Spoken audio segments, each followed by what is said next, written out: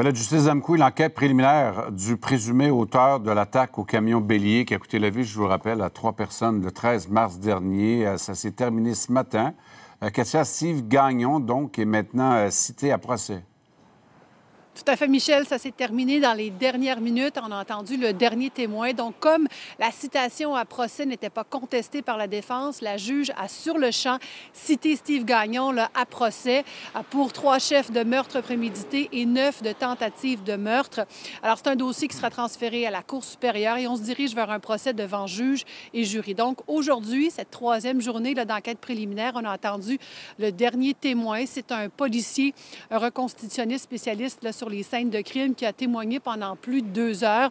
Et au total, on a entendu une quinzaine de témoins depuis le début de la semaine, des policiers, euh, des enquêteurs, euh, des gens qui connaissaient Steve Gagnon, aussi des témoins civils qui ont vu et qui ont raconté ce qu'ils ont vu cette journée du 13 mars. Vous comprenez comme les autres jours, on ne peut vous dévoiler ce qui a été euh, donné comme preuve en raison de cette ordonnance de non-publication.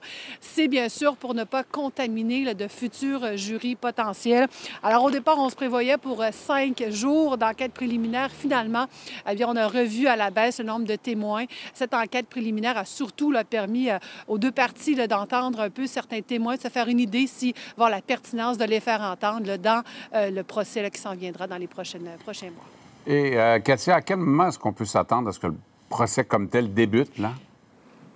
Alors, Michel, ce qu'on sait, là, c'est que Steve Gagnon devrait être de retour en cours le 3 juin prochain, la prochaine date là, à la Cour supérieure. On devrait là, avoir un peu plus d'informations à ce niveau-là, à combien de temps les avocats prévoient là, pour euh, ce procès? Mais on sait que le, calendrier est très complet. Alors, ce serait très surprenant qu'on ait un procès avant cet automne, voire même euh, en début euh, de 2025. Merci beaucoup, Katia.